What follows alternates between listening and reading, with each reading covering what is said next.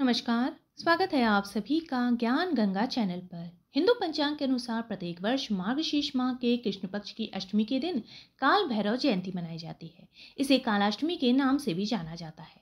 काल भैरव जयंती के दिन भगवान महादेव के रौद्र और उग्र अवतार काल भैरव की पूजा अर्चना करने का विधान है। मान्यता है कि भगवान काल भैरव की पूजा अर्चना करने से बुरी शक्तियों से छुटकारा मिलता है।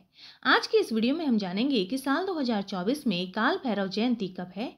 दिन व दिनांक क्या रहेंगी? अष्टमी की तिथि क्या रहेगी? पूजा का समय क्या है?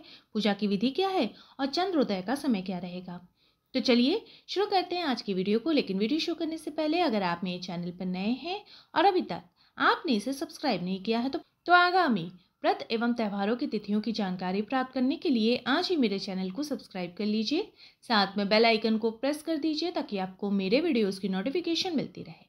वीडियो अच्छा लगे तो उसे लाइक और शेयर करना बिल्कुल मत भूलिए। तो चलिए शुरू करते हैं आज का वीडियो।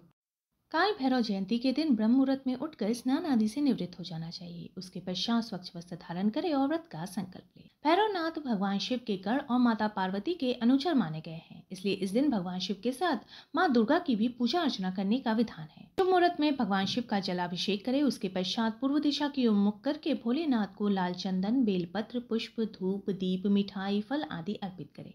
काल भैरव की पूजा करे। उन्हें तिल, उड़द अर्पित करे। भोग में इमरती जलेबी, पान, नारियल आदि अर्पित करे। काल भैरव जयंती की कथा को पढ़े या सुने, भगवान काल भैरव की आरती करे।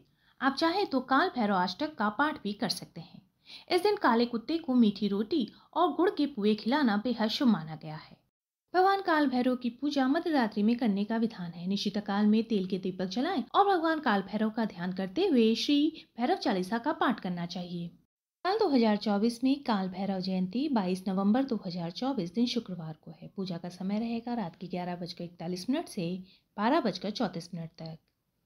चंद्रोदय का समय रहेगा रात के ग्यारह बजकर इकतालीस मिनट पर। अष्टमी तिथि का आरंभ होगा 22 नवंबर की शाम छह बजकर सात मिनट पर और समाप्ति होगी 23 नवंबर की शाम सात बजकर छप्पन मिनट पर।